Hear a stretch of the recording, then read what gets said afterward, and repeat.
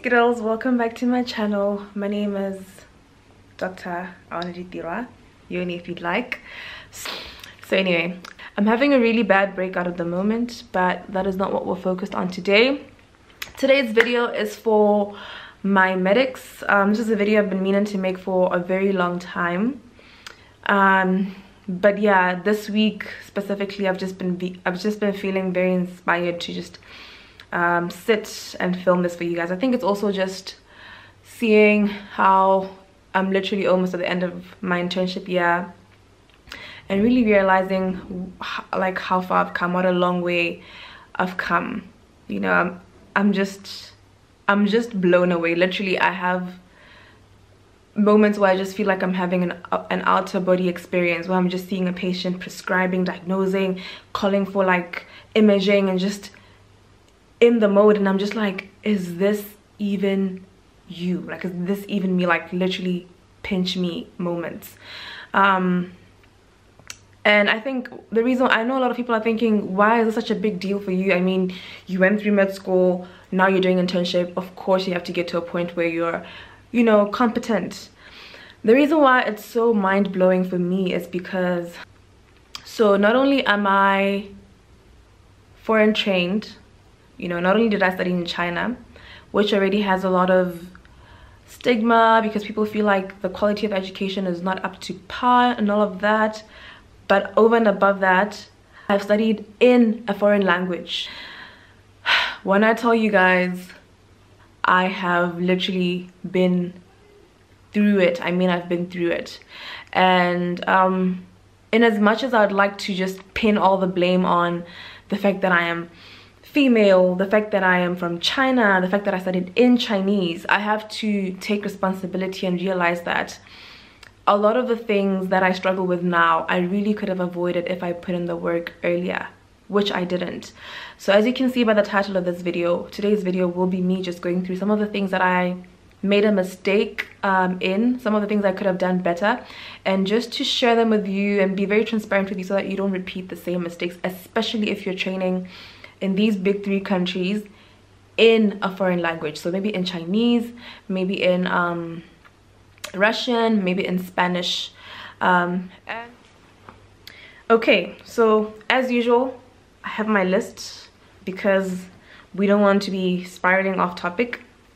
First things first if you're watching this and you're trying to decide if you should study medicine in china in chinese i would say to you if you don't have to don't if you don't have to study in Chinese, don't study in Chinese. You can go to China, but maybe study in English. Please do not take the risk of studying in Chinese if you don't have to. And what I mean by if you don't have to, if it's not a scholarship, because of course a scholarship is a very attractive thing. Like it's very difficult to just look at a scholarship and say, screw it even though i've done that before in my life but we'll speak about that in another video but yeah scholarships are great opportunities you get one hop onto it because those are hard to come by so if that's the case with you that's fine you know if I, if I got on that scholarship and I survived, so can you. But if it's a situation where, because I know people who go to China and study in English and that's self-sponsored, they study in Chinese and they're self-sponsored and they study in Chinese only because it's a few thousands cheaper. Please don't do that. You will regret it. It's not worth it. It's painful. Don't put yourself through that. It's just not worth it. It's just not... Think about it. It's not practical learning such such a deep intertwined, intricate, meticulous course in a language you've only spoken for 10 months. It doesn't make practical sense. Yes, we've survived, but as I'm telling you, we've had to suffer. There's been a great price to pay. And if you don't have to go through that, just don't go through it. That's my advice. So that's number one, okay? Number two, as soon as you, st you start your course, okay, the first year of medicine is, the first year of the Chinese scholarship program that I was on is basically language. So for that one, I'll just say 100% devote yourself to getting your Chinese on lock. Like focus, focus, focus. Um, you know, practice. Make sure you have, push yourself to a point where you can literally speak Chinese above what is expected of you, above average. Literally hop into the accent and whatever, above average. Don't settle for the the you know the basic chinese that everybody else is speaking. Literally get your accents get everything on point so that when you're actually stuck in the classroom with a hundred chinese you can actually hear what's going on and you can follow on in the lessons.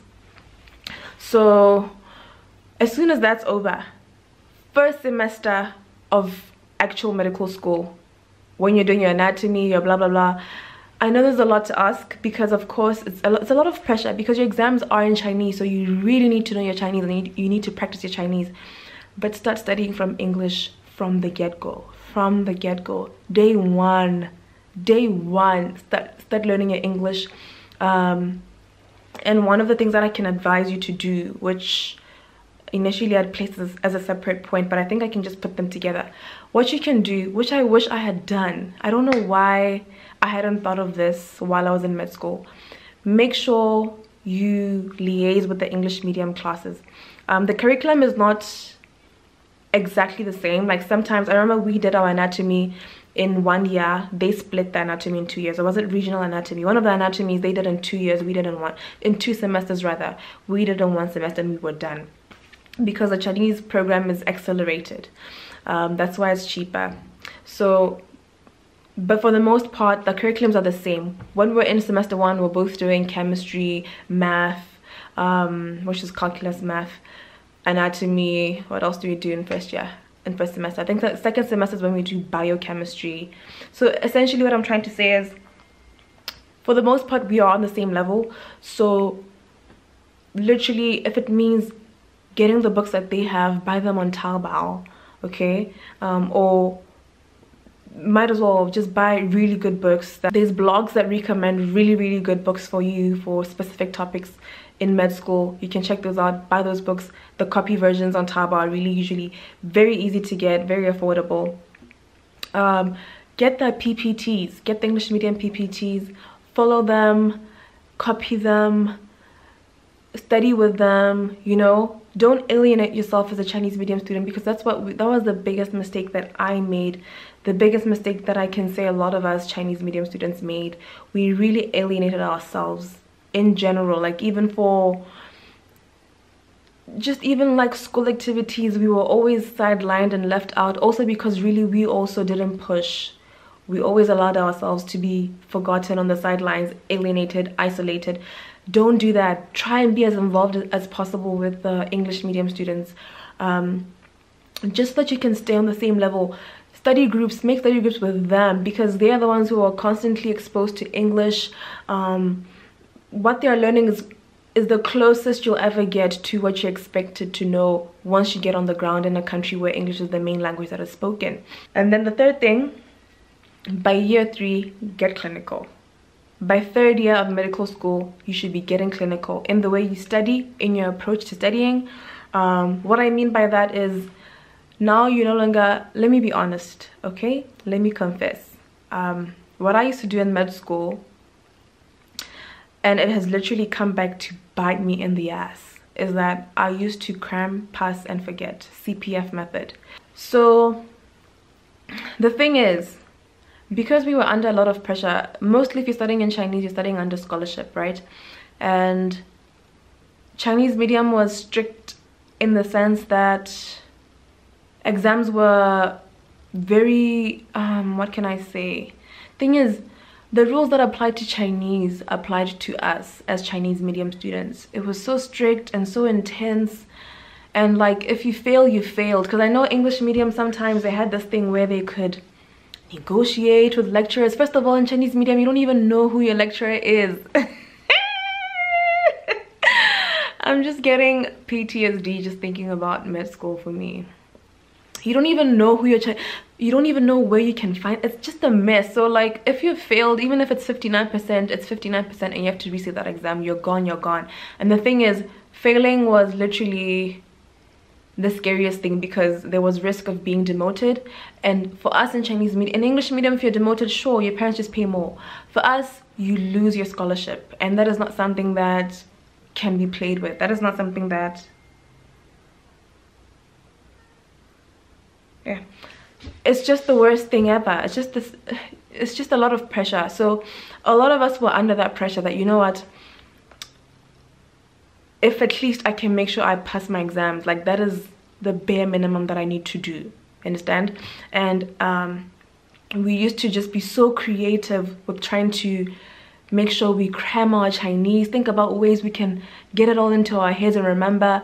Just try imagine try imagine those those sticks that you see on the billboard of a Chinese store on the on the on the signage of a Chinese store if you don't know Chinese, that to you just looks like rocket science. Now imagine having to use that to understand something as intricate as medicine. Do you understand what I'm saying? So it was just so much pressure on us. Like I'm really not trying to make excuses. Actually, I am. But it was just so much pressure because we had to be so creative. I remember it. I remember up to this day, some of the stuff that I used to cram, up to this day, that's the only thing that I, I can end up remembering, like hard to remember. I just realized when I was, because currently I'm in surgery and I'm in ortho surgery. Well, now I'm in neuro, but like a week ago I was in ortho.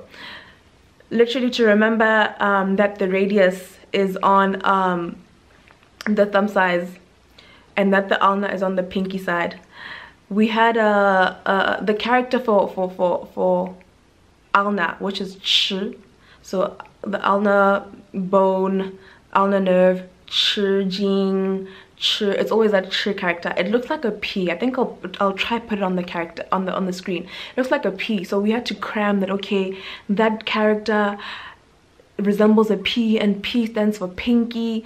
I'm just trying to show you guys the processes that had to go into just passing a single exam. We had to do so much cramming, we had to be so creative.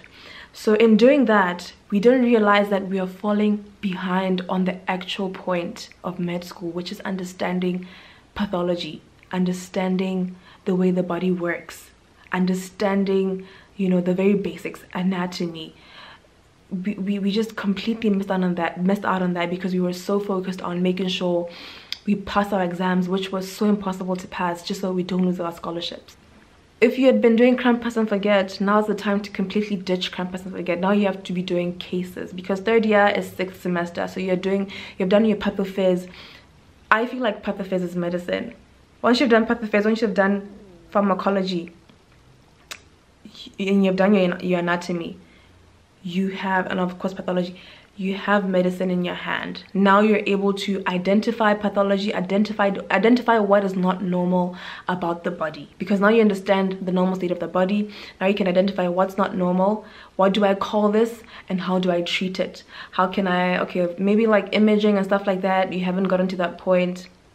But at least you can comfortably be like this is not supposed to be happening. What is this? What process is this? What's happening? And how can i treat it do you understand? I'll give you a random example. By year three, by sixth semester, I should have been able to understand inflammation. I should have been able to say the processes involved in inflammation are dilatation of the capillaries and then you have like um, increased permeability and you have you have your neutrophils and your monocytes blah blah blah blah blah blah that's what causes the erythema the swelling the warm to touch the the, the, the red appearance blah blah blah that's erythema so basically all those processes should have been in my head by sixth semester because that's pathophysiology right? And i should be able now that i have my pharmacology i should be able to say um, if it's inflammation that i'm trying to control then i can give steroids or i can give NSAIDs but that is stuff that i didn't know and i didn't even think in that pattern because all i ever cared about was just passing my exams. So when i say you should start thinking clinical start studying clinical i mean start studying cases. 24 year old male presenting with this, yada, yada, yada. If you can start thinking in that pattern from year three, you are, you are, you stand a chance, like you stand a chance because the reason I'm saying year three specifically, not only am I looking at the curriculum that, you know, by then that's when you've done these and these subjects, but generally in Botswana and in a lot of medical schools in different countries as well, by year three, they're literally studying at the bedside. Like there's no more class. You're studying by the patient's bed, seeing what you're supposed to be knowing, not just reading it in books and not having a mental image of it. So by year three, I urge you guys, switch to clinical and we're so lucky now we have YouTube okay we have youtube it show it can show you youtube is so and like youtube is so bad like you you see i'm even running out of words. Youtube is so exceptional that you can see actual presentations of patients. Like you can you, they give you a patient and you see you see them. Wonder what the obstructive jaundice what you're looking for you see the icteric sclera they show you the patient's lfts you're very very involved and you see what's happening it almost feels like you're there. So utilize your youtube utilize um, books. There's a book uh, that i was that i davidson's 100 cases. That's the book that I, i'm a davidson's fan. That's the book that i currently use now for my um for my clinical internship and stuff but specifically they had a book called davidson they have a book called davidson's 100 cases and essentially it's just like clinical cases like this patient presents with this what are you thinking? Multiple choice. It's, it feels like your USMLE type of vibe if you've ever had a look at those kind of questions. So those are really um, that's really the pattern of studying that you should adopt as soon as you get to year three. And do it in English and I'll speak a little bit about that soon. I'll speak a little bit about that soon. Subsequently which brings me to point number four as early as you can but I would advise year three because that's another mistake I made. But as early as you can start doing electives back home. Go home get into the hospital learn okay? Because to be very honest there's just things that you shouldn't be doing for the first time when you've already been employed. For example i didn't know how to take blood. I didn't know how to insert an iv line. I didn't know what i don't know what's in a full blood count. What's in a full blood panel? I didn't know okay? I didn't know i just didn't know so many things guys. I didn't know so many things and it's just embarrassing to be fair to say the very least. It's embarrassing and i don't think that needs to be the case um, and i'm just convinced that my purpose and calling in this world is to run so other people can walk. You know it's to make things easy for the next person. Don't make the mistakes i made. As soon as you get a holiday go home and practice okay? The good thing about countries like botswana i'm sure a lot of other countries in africa as well people here will be more than willing to engage you. Students here are literally treated as interns like they're given work to do. They're literally you really feel enabled and motivated and empowered. Like you get work you feel like you're part of the team which is something you can never ever ever get in china. So as soon as you get an opportunity holiday not every holiday of course like you guys should travel hey? You guys should have the best time of your lives because you're not gonna get that opportunity again. So don't come home all the time like come on go to bali or go to like thailand. Have the best time of your life.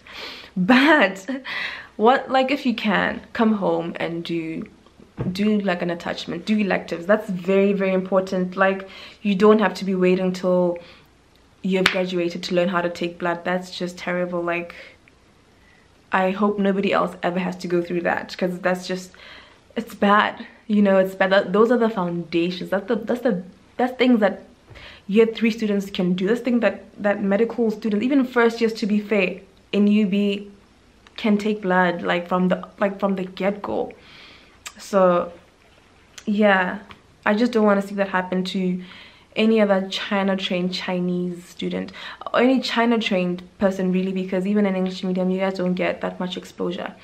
I don't I can't speak very well for like Russia and Cuba obviously in terms of clinical skills because I don't know but I would assume that you also don't get as much exposure as you need to in terms of like practical skills so electives electives electives botswana is very happy to to to have you especially as students maybe things will be difficult as interns but as students sham you just have to sign up okay i don't know the procedure actually let me not lie but I know a lot of people who've applied and they've been able to do the electives in Botswana. The mistake that I made, I decided to, to be bougie, hey, and I went to GPH. Now, you have to remember, GPH is a private facility, a private hospital. They understand the implications, okay? They have been trained to be aware that at any moment you could be facing a lawsuit. So nobody's really gonna put you in the front line like that and allow you to be too experimental like that because of course yeah they they they're just extra careful they're extra careful and the patients libone they might be a little bit iffy but public hospitals sham sham like you'll have the time of your life if you're really willing to learn. Like you'll be very very engaged. You'll be getting work. You'll be learning how to do all sorts of procedures at your level. And it's really going to be empowering for you. It's really going to be empowering for you. Um the language of medicine. Ha. I remember my first morning report. I just felt like everybody is so intelligent. But that was just because i was never exposed there is an entire language of medicine. Literally i mean if you pick somebody from a completely different um, space of work there's a specific word i was looking for then it left me and you put them in our morning reports in the morning i can tell you i can assure you 100 percent 80% of the time they cannot hear what we're saying. That just proves to you that the medicine of language medical jargon is a language of its own. Like it's the system the way people present the way you present also you need to know how to present a patient and how to take notes but i'll i'll speak about that soon. The language of medicine is a language of its own and you need to have heard it over and over again for it to stick. You need to have spoken it over and over again for it to stick just like any other language. It's something that you need to exercise to become decent at.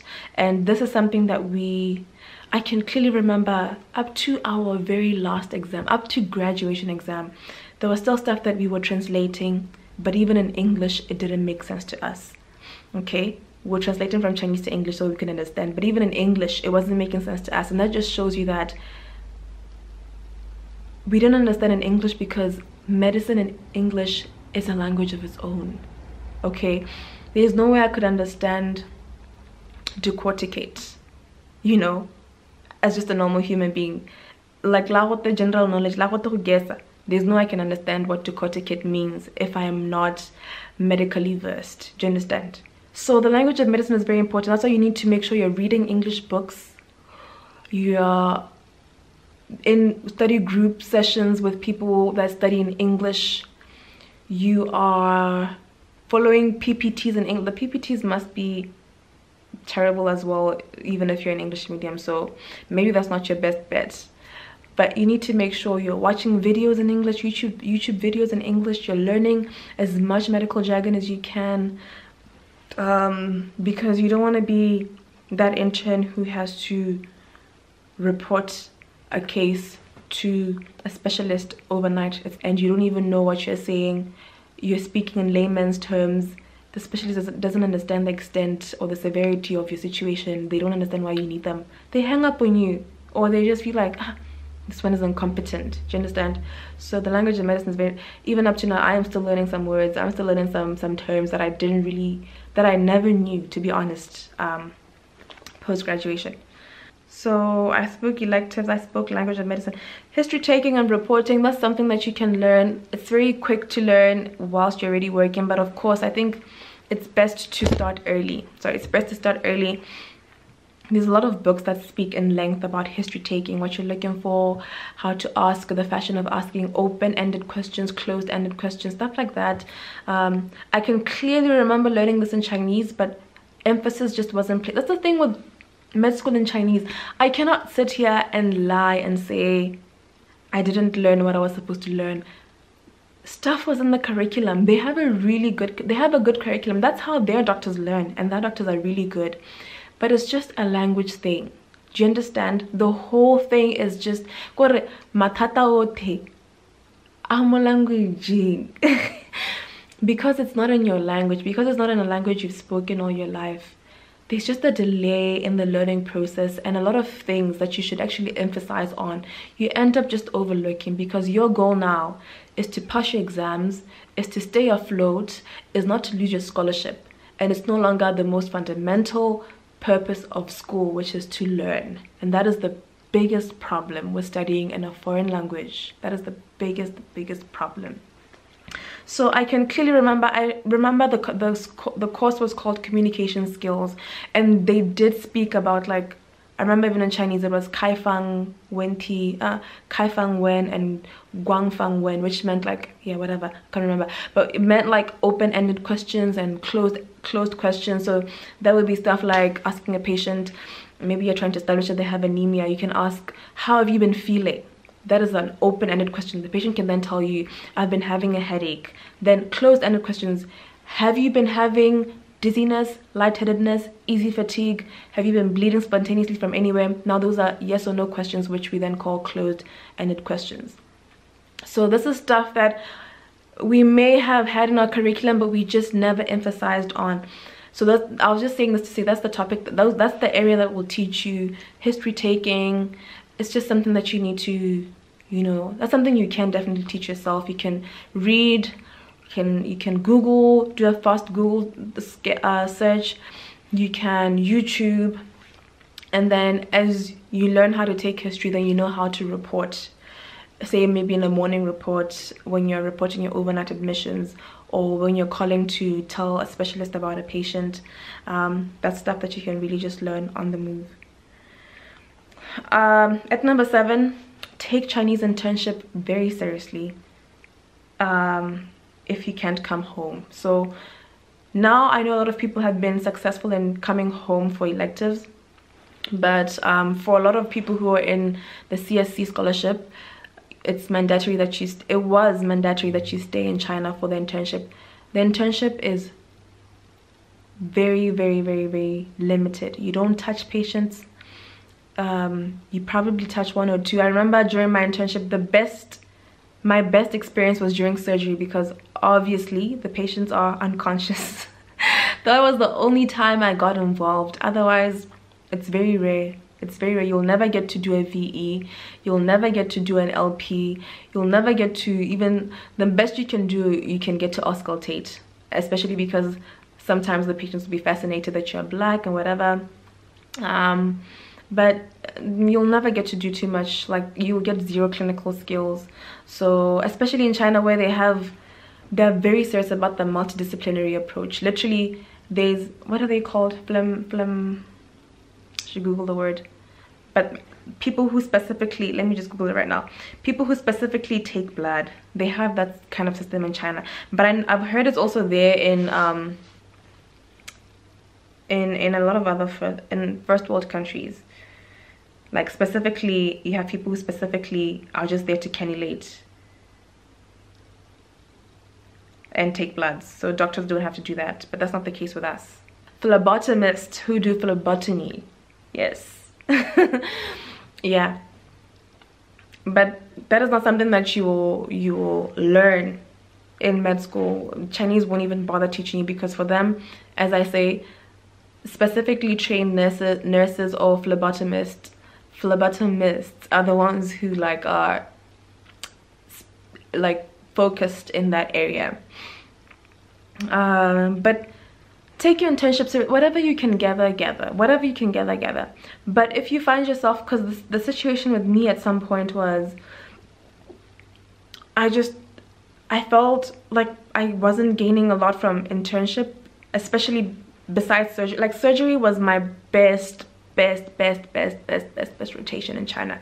I was involved. I felt needed. Like i would actually be placed on schedule. Sometimes it'll be written that okay today the dr yoni is coming to like assist in this thyroidectomy because other doctors are there and there. Like we had actual roles which was really really really empowering. And that's the only good memory or good experience i had out of my medical internship in in china otherwise otherwise nyam you just go. It was so demoralizing. I don't even know how my mental health was okay at that time. Actually i remember there was a time i was very it was winter of 2017 yes my time when i was really sad. I was really not in a good space because i just felt like i don't know what i'm doing with my life. I don't know where i'm headed. I don't know i don't know what's happening. That's around the same time i made that video for you guys um, the first med school in China upload that I have because yeah I I was just not sure like what's happening Tota. I don't know what's happening.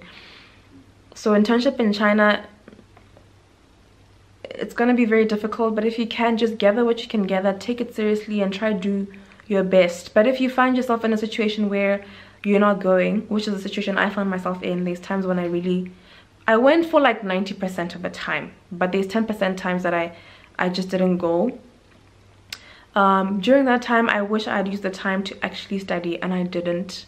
But that is really the best time you have because nobody is putting any pressure on you to be honest all you need out of that internship is like a few signatures on a book that you can get from anybody anytime so that would be the perfect time to just study you have an allowance you don't have to be trying to work or do anything. You have an allowance you're living in an apartment you're you know your life is good at this point. Way more relaxed no classes no nothing. That's the best time to just make a, a, schedule for yourself and just literally read book. Like literally study like your life depends on it. But i wish i'd made time i'd made use of that time but i didn't and that's a mistake i hope you guys won't repeat. Hmm. and i realized that a lot of the problem with not being able to study is not having the right schedule one and not having like you need to have a study plan. That is so important. You need to have you need to have a specific way of studying. I remember when we were studying for our grad exams it's like when we got to our grad exams that's when we all just woke up which is so unfortunate. Like in my grad exam preparation that is when i started to feel like an actual doctor because we were really going in which was too little too late you know? But yeah you, you need to have like a, a system. Your definition what exactly is appendicitis?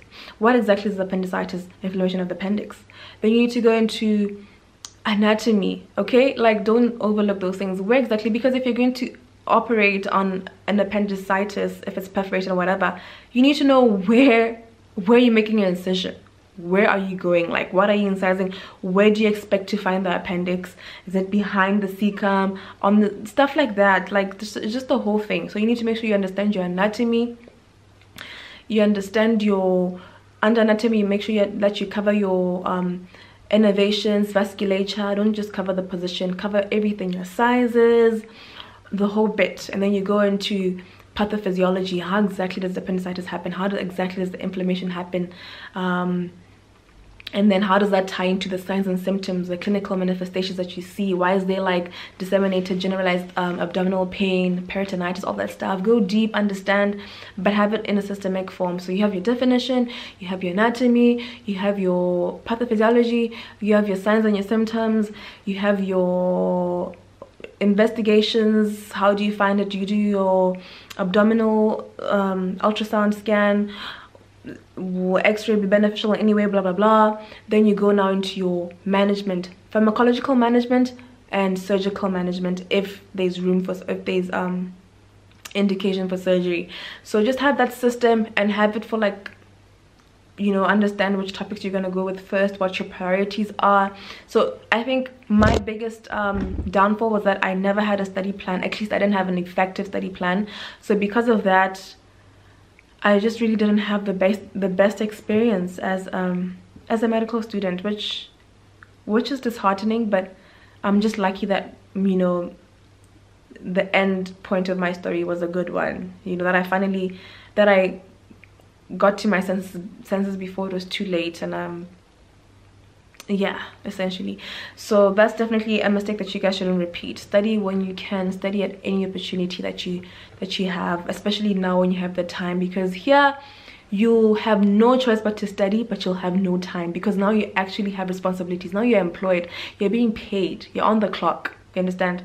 So the pressure is just like 10 times more now because there's somebody expecting you to have an answer. Believe me like you'll have nurses just ask you ngaka 1.8 what do I do? Okay? And you have to have an answer for them. It's your responsibility it's your duty it's what you've been called for. So this is take this very seriously. Um where was i? Use all your free time wisely. I think i sort of spoke on that. Use english medium ppts blah blah blah. I spoke on that. So my 10th and final point was fight and start your fight early um, today it's funny it's not funny but yeah it's, it's it's quite a coincidence that I've been already meaning to film this video. But today was my first day in my sub rotation which is neurosurgery.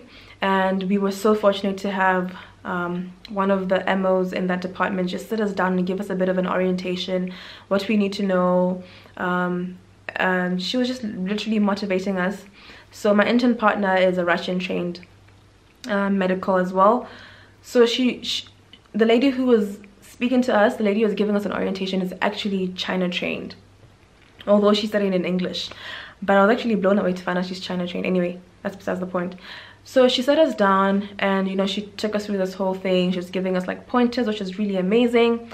And at the end she just spoke to us about a whole lot of other stuff. And she was just really really empowering us which is so inspiring. I haven't been that inspired in a very long time. Very motivating but amongst a lot of things one of my takeaway messages was you come with a deficit. By virtue of having trained in a foreign country um, that is one of these big three or I don't have to I don't have to specify.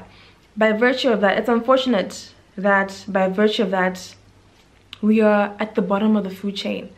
You know you could have been a straight a star student in high school but by virtue of going to these universities it just drops you below the band. But that doesn't have to be the end of your story. That doesn't have to be that doesn't have to be it you know? There's hope. So she was basically saying you come with a deficit but you have to fight to bridge the gap. Those were her words and they it's um, you know I've, I've gotten the same speech from a different doctor um, who, who who who was supervising me in a different rotation but she was from she was um, she was Russian trained as well. But she basically said the same thing. She said you need to understand you know you'll always have the you'll always be at a disadvantage basically. So you need to literally push yourself to exhaustion if that's what it takes. To exhaustion if that's what it takes okay? You have to push yourself till you can no longer push yourself just so that you can bridge that gap so that'll be my closing message for you guys whether you are in your final year you're you're about to graduate and you're about to come and work um, go to your home country and work or if you're still a medical student you're studying in Chinese I'm just saying if I have made it, you can definitely make it. So that's that's that and that's out of the way. You'll graduate, you will be an exceptional doctor at the very end, but start fighting and start now so that you don't have to have that huge gap to bridge when you're already like employed. You know, start fighting and start now. Work hard, have your ducks in a row. Avoid all the mistakes that I made um, that I've spoken about throughout this video. And yeah it can be done it's possible i've seen it through myself god has literally been so faithful like i could have never imagined i'm not i'm not making this video to make myself look dumb. You know i'm not trying to make this video to expose myself or make myself look inferior or whatever but it's just facts. That's just the experience that i had in medical school which really wasn't the best experience and I cannot completely blame the system. There's stuff that I could have done differently that I hope you guys will take heed off and do differently for yourself so that you can become the best version um, that you can be. So thank you Rega thank you very much for for watching. I've spoken so much. I hope I can edit this video and make it short because yeah my videos are always so long. But yes thank you for watching. I'll see you guys in my next one and thank you. Bye